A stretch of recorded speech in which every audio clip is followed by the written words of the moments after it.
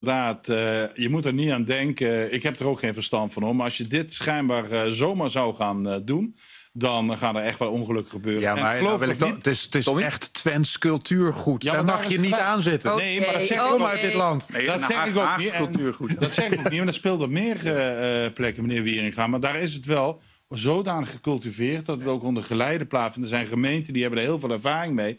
Ja, en ik hoor maandag een paar collega's zeggen... bij ons is de melkbussen eh, verkoop enorm gesteken, maar niet voor, niet voor de melk. Maar serieus. Maar hadden ze het niet ze- gewoon moeten verbieden?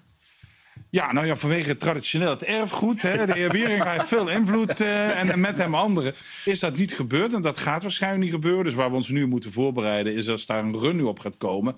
Ja, daar zal wel wat meer gereglementeerd worden. Ik voorspel je ook, er zal op sommige plekken ook daadwerkelijk uiteindelijk gezegd worden... dit gaat niet gebeuren. Je kunt er niet voor dit soort scènes in het centrum van, van Amsterdam gaan Nee. plaatsvinden. Dat kan toch niet? Wilt u een verbod? Ik denk dat eh, eh, we op sommige plekken eh, duidelijk zullen gaan zeggen... hier kan het niet, hè, dus bewoond gebied. Nee, maar dat is altijd zo, lijkt me toch? gerappen maakt. Dat zal ook niet zo'n probleem zijn. En voorts vertrouw ik er ook wel op. In die regio's waar het eh, al jaren, decennia langer gebeurt, dat die dat wel goed eh, oppakken. Er zijn nu een aantal, we hebben ook afgesproken, een aantal regio's die het echt betreft, zijn er acht in het land. Die gaan ook kijken of ze in ieder geval één lijn trekken. Want dat kan ook nog gebeuren. hè. En dorp X eh Ja, mag wel. En daarna, ja, nou, Ja. Je, je, wat dat we het erover moeten hebben.